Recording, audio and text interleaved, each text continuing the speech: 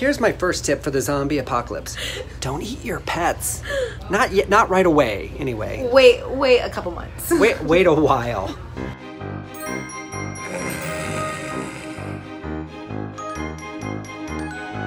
Hey everyone, it's Dr. Mike, the Bowtie Vet Guy.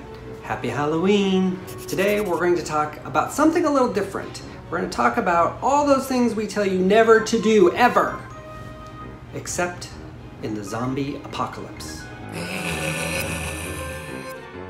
Well, one of the things that came up was treating wounds with honey or sugar. It is antibacterial and it will help wounds close fast. Kind of use any honey. There are honeys that are uh, medical grade honeys, but you know if it's a zombie apocalypse, you use what you got to use. You know, you just find some honey, and if there's an open wound, you can slather that on the on it, then cover it up. Obviously, you want to keep it covered, and then every day you need to rinse that honey off, um, get off any dead tissue that's on there, and then put a new one on every day. Sugar, you just take the sugar, put it on as like a paste, change it every day. It loses the efficacy after about a day. Another thing that can go on wounds to just sort of protect that meaty granulation tissue that's the good healing tissue is plain old petroleum jelly forms a nice barrier. Again, you want to check it every day, make sure it's getting clean and it's not getting putrid and there aren't any little critters growing in it, which can happen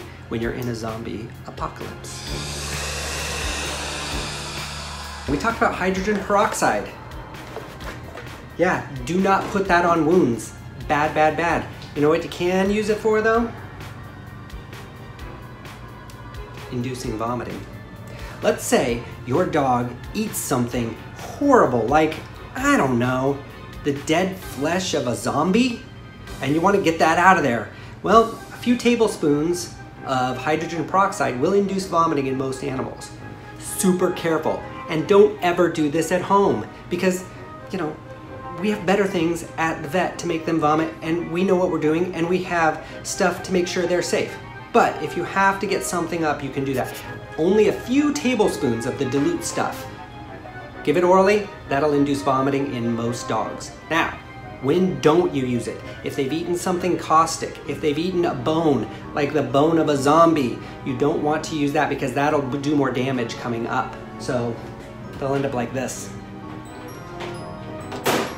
Do not induce vomiting as well in any of the smushy face dogs, any of those brachycephalic dogs, because they are really prone to just aspirating that back into their lungs, causing major problems.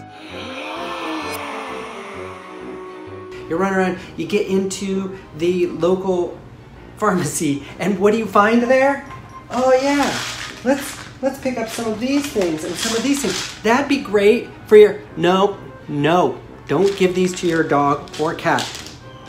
This will kill your cat, one of these, and not in a good way. Here's a little trick that we do. Let's say you have put a bandage on and your dog or cat just keeps licking at it and licking at it and licking at it, and there's, ah, you want to stop it, you're making it worse. Find these, people aren't gonna be using a lot of deodorant, so there'll be plenty around. Rub it on there, tastes terrible, they won't lick at it.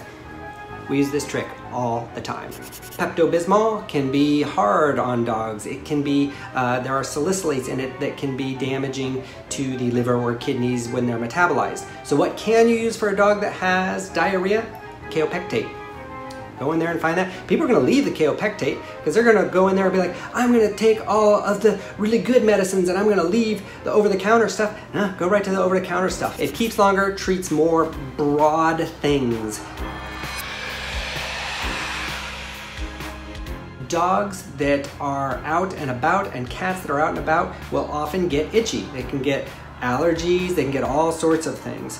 One thing that's great for itchy animals, and this goes across the board, oatmeal. This is a little aloe and oatmeal shampoo, but let's say all the pet stores have been ravaged, there's no oatmeal aloe shampoo, and your dog is miserable itchy because it's got a rash. You can just use regular old oatmeal, grind it into a fine powder, make a paste, Rub it on the skin wherever that rash is. Helps you, helps your dog. There's an old trick we use for dogs that have gotten skunked, but something that works to take the smell out is a concoction that uses, again, our friend hydrogen peroxide, a little Dawn dishwashing soap, Yeah, Dawn works better. I don't know why. Rub that all over your dog or your cat. It will get out that skunk smell. So I think it will probably get out that zombie smell too. Keeping your dogs and cats hydrated. We use this stuff as as, as it's like a milk replacer. Ensure, Pedialyte, all of those sort of electrolyte replacers, they work great for your pets too. So in the zombie apocalypse, when you can't get into us, so we can give them the good stuff, give it a try. Might work, might not. Probably will work. You can actually teach your dog to be quiet on command. Yeah, you teach them how to woof and shush. Pretty easy to do. You just get them to bark on command and you bark, yay! And then you, you don't have to reward that because they're gonna do it just because it's fun. Yeah, you're barking. And then you go quiet and you put a treat right on their nose. Yep. They can't sniff and bark at the same time. So as soon as they're quiet, you say good dog and you give the treat. And then pretty soon they learn like, oh, I bark and then you go quiet and they get it. So works really well. I taught my dog to be quiet on thank you. So when somebody would come to the door, knock, knock, knock, the dog goes, and I'd say, thank you. And she would come running up to me, be quiet, and look at it, and I'd go, good dog, there's your treat. And that was fine. And she stopped barking.